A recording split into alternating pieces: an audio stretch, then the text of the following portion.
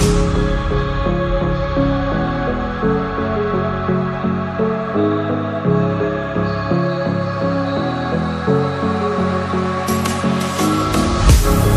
was night today when you entered the space of me